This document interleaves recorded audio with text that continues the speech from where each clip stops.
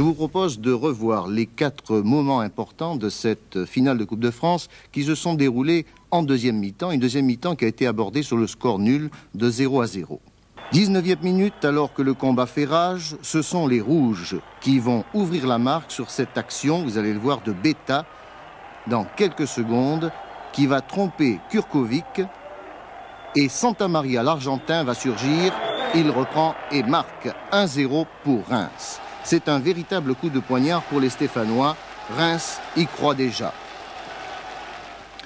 Saint-Étienne va pourtant réagir devant ce mauvais coup du sort et regarder cette action qui aurait pu être capitale pour l'issue de cette rencontre. Un contre stéphanois, Rocheteau se précipite et Hervé Revelli à l'affût marque. On croit à l'égalisation, 1 à 1, mais après consultation du juge de touche, M. Conrad va annuler le but. Rocheteau était en effet hors jeu. Regardez bien la balle, Rocheteau surgit ici, il est hors jeu devant l'Odu, le gardien, alors que Revelli se précipite pour marquer. Les Stéphanois repartent à l'assaut. Ils ne s'avouent pas battus, ils ont si bien réagi en d'autres circonstances. Farison va être accroché dans les 16 mètres et c'est un pénalty accordé cette fois par M. Conrad.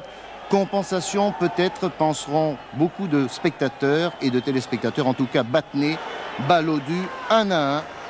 Et tout est, tout est à refaire, mais psychologiquement, Saint-Étienne se sent plus fort en fin de rencontre. Et sur ce corner, à la 44e minute, Farison tire et une tête magistrale de Merchadier donne l'avantage définitif 2 à 1 à Saint-Étienne. Saint-Étienne, pour la sixième fois, vainqueur de la Coupe de France. Le Premier ministre, M. Raymond Barre, remet la Coupe de France à Ivan Kurkovic, l'un des grands héros stéphanois. Bravo les Verts et à bientôt les Rouges.